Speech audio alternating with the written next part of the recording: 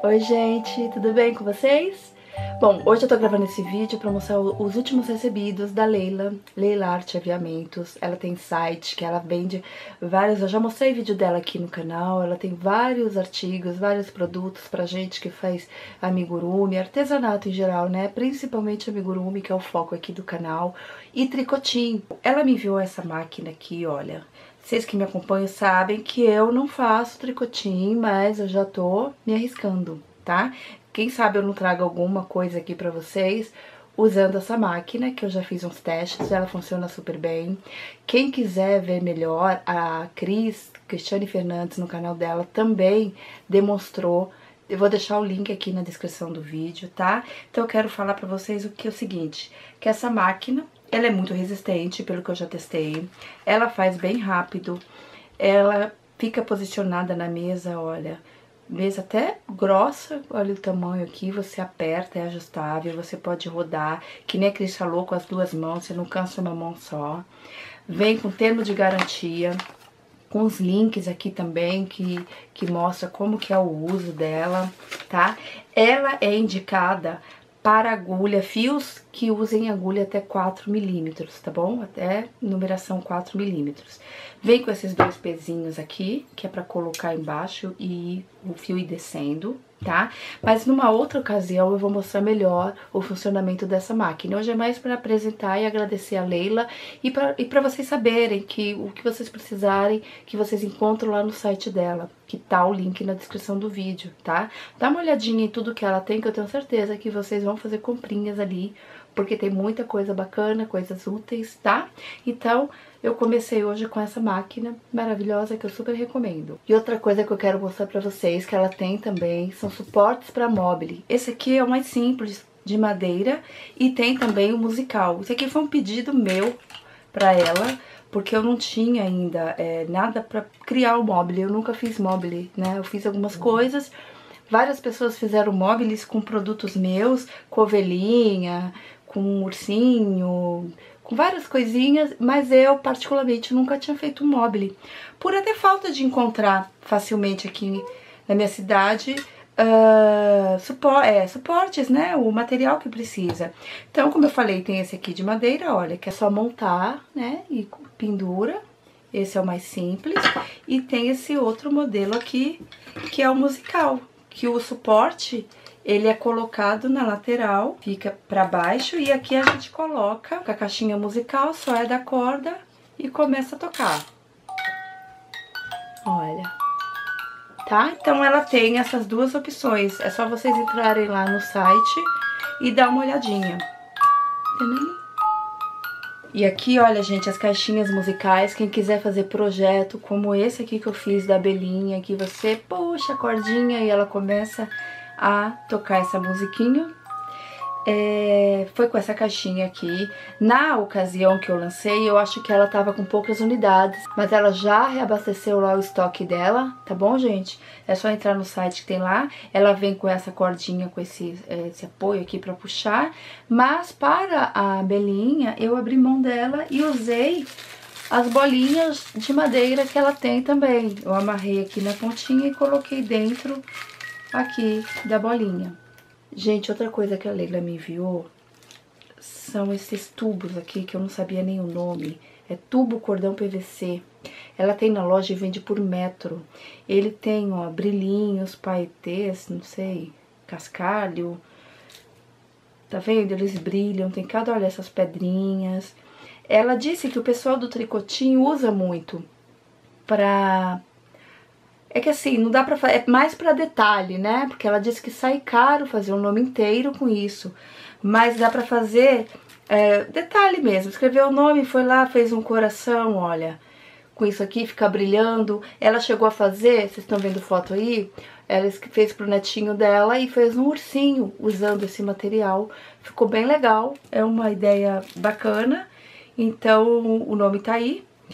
E quem quiser tá lá no site, na loja dela. Como eu falei, ela vende por metro, tá bom? E claro, né, gente, que além da máquina de tricotinho, ela tem também os arames, tá? Tanto colorido quanto esse de alumínio. É só entrar lá no site dela e procurar por arame. Aí aqui, olha, gente, achei mais fácil virar na mesa. Vocês estão vendo? Ela tem bolinhas de madeira, uh, bico de piu-piu, bico de galinha. Gente, é tanta coisa. Olhinhos. E esses botões que eu mostrei lá no, no Instagram. Tem vários botões de madeira, um mais lindo do que o outro. Tem esse aqui muito fofo do Mickey. Olha aqui. É que, gente, é muita coisa pra eu tirar e mostrar, mas olha... Fuça de porquinho isso aqui, ó, que eu acho bem legal, que é o contador de carreira. Olha, principalmente para quem faz, né, é, várias carreiras, um projeto grande que se perde, é, ó, vai apertando e contando as carreiras. Isso é muito legal também no tricô, no ragdoll, porque é difícil, no, no, no amigurumi você as carreiras ficam nítidas, né? Mas quando você faz o vai e vem no, no ponto baixo, eu me perco. Então eu acho bem legal usar um contador de carreiras, tá? E mostrei também, ela tem, olha, as fitas métricas bonitinhas, com carinha de porquinho, pandinha, chocalho, apito. Então, gente, é muita coisa. Olha, os prendedores de chupeta, ela tem esses dois modelos aqui, tá? Pra quem vai fazer um acessório de chupeta, usando as bolinhas de madeira, ela tem tudo. Tudo que vocês precisam pra, pra, pra qualquer coisa que vocês forem criar, fazer aí, dá uma passadinha no site da Leila, que ela tem, tá, gente? Eu garanto, ela tem uma infinidade de coisas. E o legal da Leila é que ela tá sempre buscando por novidade. Você quer alguma coisa, ela vai atrás, ela procura quem onde encontrar para poder ter na loja para você.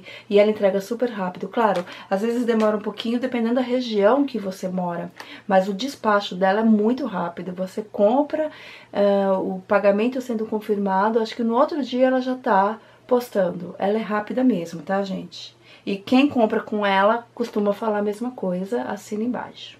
E, gente, outra coisa que eu quero falar, quando eu trouxe aqui pro canal a receita dessa coruja e do carneirinho, muita gente me perguntou desse fio aqui, que na, na época eu usei o Fast Fine, mas ele era difícil, não sei como é que tá hoje, mas era muito difícil de encontrar, nem todo armarinho tinha. E aí eu, eu confesso pra vocês que eu não conhecia, a Leila me trouxe, olha, me mandou essa sugestão aqui, que é o fio Velute. Ele parece ter um tex pouco menor do que esse aqui. Achei super resistente, olha, eu puxo assim, ele não desfaz.